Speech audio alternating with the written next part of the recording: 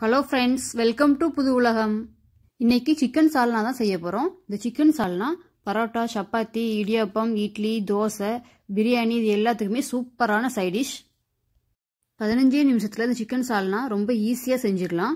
இப்போ நாம் சிக்கன் சால்னா எப்படி செய்கிறதுன்னு வீடியோவில் பார்க்கலாம். ஃபஸ்ட்டு சால்னா செய்கிறதுக்கு பேஸ்ட் ரெடி பண்ணிக்கலாம். அதுக்கு ஸ்டவ் ஆன் பண்ணிவிட்டு பேனில் எண்ணெய் சேர்த்துக்கலாம். எண்ணெய் சூடானதும் வெங்காயம் சேர்த்துக்கலாம்.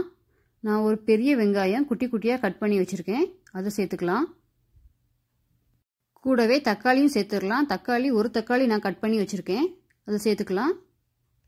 வெங்காயம் தக்காளி ரொம்ப நேரம் வதக்க தேவையில்லை. லைட்டாக வதக்கினாலே போதும்.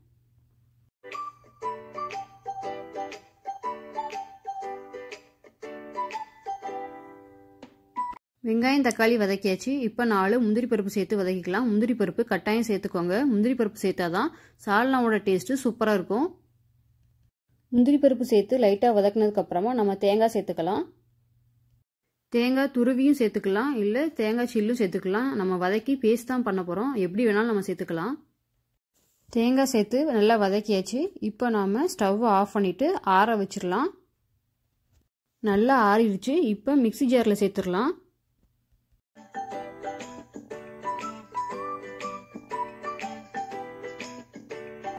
மிக்சி ஜாரில் சேர்த்தாச்சு. இப்போ நல்லா மையாக அரைச்சி எடுத்துக்கலாம். இந்த அளவுக்கு மையாக அரைச்சிக்கணும். தேவைப்பட்டால் கொஞ்சம் தண்ணி சேர்த்து அரைச்சிக்கலாம். சால்னா குக்கரில் தான் செய்ய போகிறோம் குக்கரில் ஒரு ஸ்பூன் எண்ணெய் சேர்த்துக்கலாம்.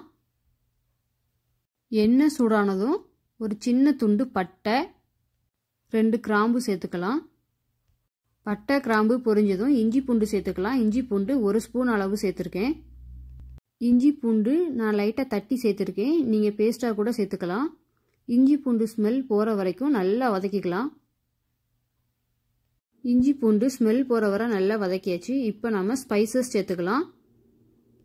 கால் ஸ்பூன் மஞ்சள் தூள் அரை ஸ்பூன் மல்லித்தூள் ஒரு ஸ்பூன் மிளகாய்த்தூள் முக்கால் ஸ்பூன் கரம் மசாலா. மிளகாய்த்தூள் உங்களோட காரத்துக்கு ஏற்ற மாதிரி சேர்த்துக்கோங்க. மசாலா எல்லாம் சேர்த்ததுக்கு அப்புறமா ஒரு தடவை மிக்ஸ் பண்ணி விட்டுட்டு சிக்கன் சேர்த்துடலாம். அஞ்சு பீஸ் சிக்கன் கழுவி வச்சுருக்கேன் அதை சேர்த்துக்கலாம். சிக்கன் சேர்த்ததுக்கு அப்புறமா மசாலாவோட நல்லா மிக்ஸ் பண்ணி விட்டுடலாம் சிக்கன் சேர்த்து செய்யும்போது சால்னாவோட ஸ்மெல் டேஸ்ட்டு ரெண்டுமே சூப்பராக இருக்கும். அதுக்காக தான் சிக்கன் சேர்க்குறோம். அதனால் சிக்கன் ரொம்ப சேர்க்க தேவையில்லை. ஒரு நாலு பீஸ் அஞ்சு பீஸ் சிக்கன் சேர்த்தாலே போதுமானது. இப்போ நம்ம அரைச்சி வச்சுருக்க பேஸ்ட்டை சேர்த்துடலாம். பேஸ்ட் சேர்த்ததுக்கப்புறமா நல்லா ஒரு தடவை மிக்ஸ் பண்ணி விட்டுடலாம்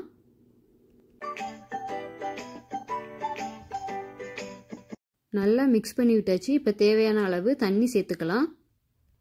நான் இன்றைக்கி பெரிய டம்ளரில் ஒரு டம்ளர் தண்ணி சேர்த்துருக்கேன்.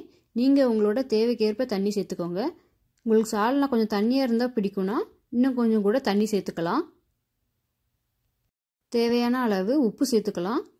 உப்பு சேர்த்ததுக்கப்புறமா நல்லா ஒரு தடவை கலந்து விட்டுட்டு குக்கருக்கு மூடி போட்டு மூணு விசில் வச்சிடலாம். குக்கரில் மூணு விசில் வந்து ப்ரெஷர்லாம் போனதுக்கப்புறமா குக்கரை ஓப்பன் பண்ணிடலாம். சால்னா ஸ்மெல் சூப்பராக வருது.